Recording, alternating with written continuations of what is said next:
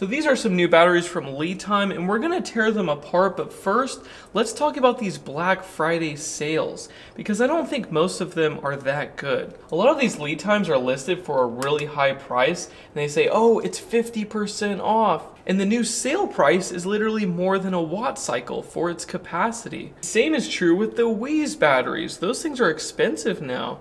And a lot of these LiTimes do not have low temp charging protection, but the Wattcycle has it and it's cheaper. Also, the EG4 server rack 12 volt battery is almost double the price of a Wattcycle battery. It's $324 every 100 amp hours at 12 volts. And the best deal I could find for a LiTime is their 12 volt 280 amp hour for $500, which does have low temp charging protection, but Wattcycle you get 300 amp hour mini for the same price. And Wattcycle says 17% off, but all these other companies are saying 60, 80, 90% off. And the original price that they list is ridiculous. Like LiTime 12 volt 280 amp hour, they said before Black Friday, it's $1,014? They're saying that you save 51% off? That's just so silly. So be careful when you look at these Black Friday deals because most of them aren't a deal at all. Now these batteries just got released. This is a 140 amp hour Group 31 with low temp charging protection.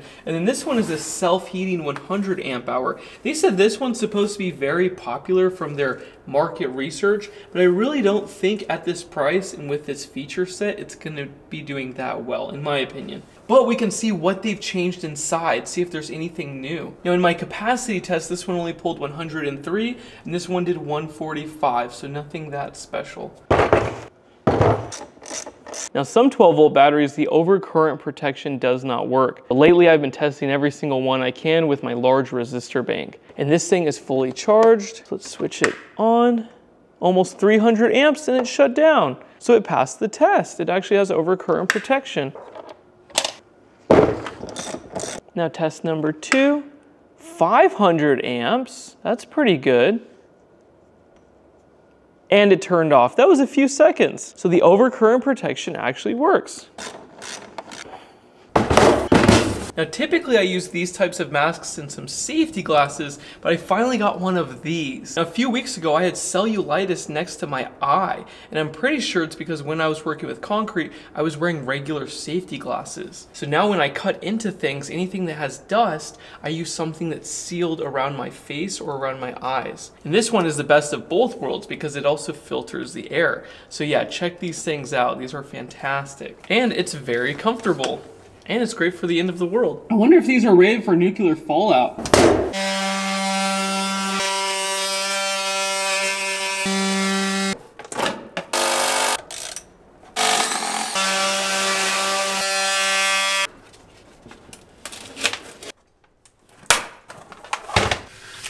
Now there's a temperature sensor for the BMS and only one for the cells. It's mounted right here and the heater pad is right here. They should have the sensor closer to the center. And for heated batteries, they should probably have multiple temperature sensors. Now usually with these heater pad batteries, these are not triggered that often, especially if they're indoors. And it increases the complexity and the price. So in my opinion, I'm not a big fan of these heated batteries. Also, you cannot put them into series for 48 volts because one battery will always be triggered first and then the heat pads will discharge that one battery and it will create an imbalance in the string. Also, they're still using solder. It reached the proper temperature, but I prefer when they're like this, just like most of the other BMSs now. These are done right, so there's no issue here. Now, this is different. This is a 60 degrees Celsius switch, and it's on the cells. This is never gonna get triggered. Also, the balance lead isn't very protected here. Now let's look at the other battery. Now the overpressure relief valves actually have holes in the foam. A lot of batteries don't seem to have this nowadays. Now the build quality is pretty much the same and they really want you to know that they make these in-house. Now this one is rated for 150 amps, so you have an extra supply conductor. Now another battery, this was held down with a piece of tape, but these wires are just floating out in the open. Shouldn't hurt performance, but a lot of the competition now has a very protected balance cable. The most important thing is if they glue it in place, because sometimes these pop out during shipping and your battery will be dead on arrival if it does. That's pretty uncommon with these LiTimes. Now let's compare them to a Wattcycle battery, which is cheaper. First, the balance cable is protected, Next, instead of solder, we have screw-on terminals. On LiTime batteries, we have foam and tape in these straps. But on this one, we actually have metal cell holders. Also, they glue the main terminals, and everything else is the same build quality, very similar performance as well. Now, on the EcoFlow, this is not as cheap as a Wattcycle, but the price for the surge capacity, if you're trying to run a trolling motor battery or large inductive loads, this one works great. Also, they're not using foam and tape and glue. We're using actual plastic cell holders. And this one is cheaper than the LiTimes. And they might even have a cheaper Black Friday price. I didn't even check it out. Also no globs of solder. We have screw-on terminals. Now LiTime has been around for quite a while now making these batteries, but the EcoFlow 12 volt just came out. I haven't heard any complaints on it yet, but we don't have a long-term track record. We have a long-term track record for these components over here. So that's a downside of the EcoFlow. But Wattcycle has been around for quite a while, and some of my members have been using these for a long long time and they're the cheapest out of all of them. And the build quality is really good. So yeah, the competition is absolutely stepping up now. Now I thought the EcoFlow would sell like crazy, but the Wattcycle actually sells a lot more. The one LiTime that I do like that's gonna be on sale is the trolling motor battery. It has a massive BMS, a fantastic surge capacity, and for the price, it's competitive with the new EcoFlow for trolling motor application. Now personally, I do not like 100 amp hour 12 volt batteries.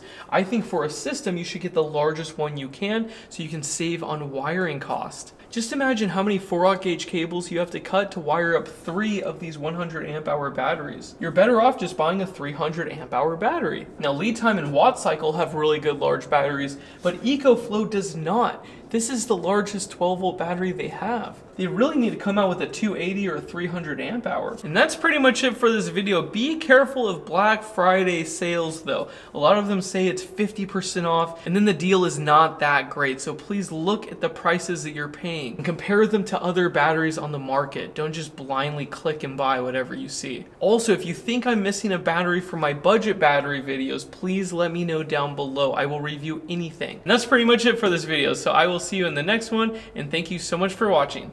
Bye.